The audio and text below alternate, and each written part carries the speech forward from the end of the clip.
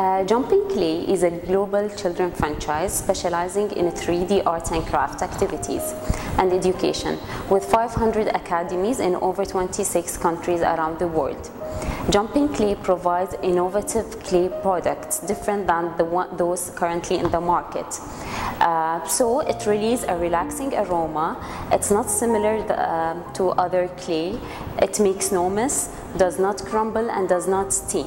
Jumping Clay is also an educational franchise that offers a window into the magical world of 3D learning, providing a new and existing way for children and adults to learn through play. One lucky day when I was in a holiday to Thailand, I saw jumping clay in, in one of their largest mall in Bangkok. It attracts me and my daughter. Uh, right away from the first touch of the clay, I wanted to do this business and to bring it back home.